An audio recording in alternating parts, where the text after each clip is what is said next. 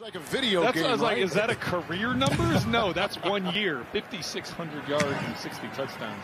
Here is the ensuing kickoff, and this is picked up by Joe Reed, who finds a gap and takes it up the middle. Slippery as a raindrop, and he takes 63 yards. It's first and goal.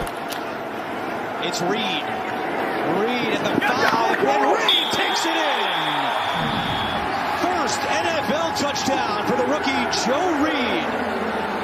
Start Herbert incomplete on his last three passes. Ty Long to punt it away. Mecole Hardman is the deep man. And Hardman bobbles that. That's a loose ball, and it's scooped up by the Chargers.